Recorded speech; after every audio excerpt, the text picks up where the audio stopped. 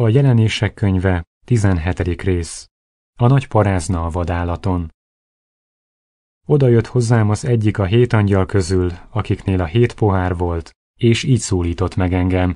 Jöjj, megmutatom neked a nagy parázna büntetését, aki a nagy vizek mellett ül, akivel paráználkodtak a föld királyai, és paráznaságának borától megrészegettek a föld lakói, és lélekben elvitt engem egy pusztába, és láttam, hogy egy asszony ül egy skarlátvörös fenevadon, amely tele volt istenkáromló nevekkel, és hét feje és tíz szarva volt. Az asszony bíborba és karlátba volt öltözve, aranyjal, drágakővel és gyöngyökkel ékesítve, kezében aranypohár, tele utálatossággal és paráznaságának tisztátalanságaival, és a homlokára írva ez a titokzatos név. A nagy Babilon, a föld paráznáinak és undokságainak anyja.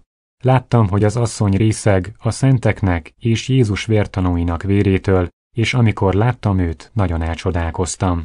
Ezt mondta nekem az angyal, miért csodálkozol? Én megmondom neked az asszony titkát és a fenevadét, amely hordozza őt, és amelynek hét feje és tíz szarva van. A fenevad, amelyet láttál, volt és nincsen, de fel fog jönni az alvilágból, és elmegy a kárhozatba, és csodálkoznak a földlakói, akiknek nincs beírva nevük az életkönyvébe a világ kezdete óta, amikor látják, hogy a fenevad volt és nincsen, de megjelenik. Itt van szükség az értelemre, amelyben bölcsesség van. A hét fej, hét hegy, amelyen az asszony ül, és ez hét királyt jelent. Öt elesett, az egyik már uralkodik, a másik még nem jött el, és miután eljön, kevés ideig maradhat.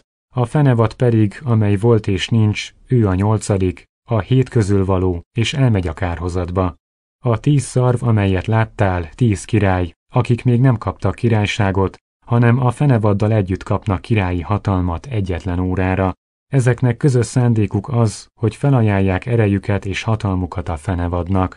Ezek a bárány ellen fognak harcolni, a bárány azonban legyőzi őket, mert uraknak ura és királyoknak királya, és akik vele vannak, azok az elhívottak, a választottak és a hűségesek.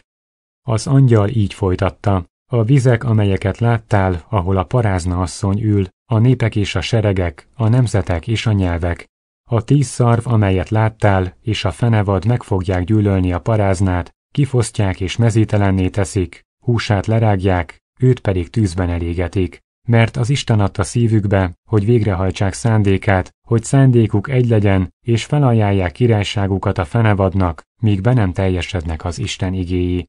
Az asszony pedig, akit láttál, a nagyváros, amelynek királyi hatalma van a föld királyai fölött.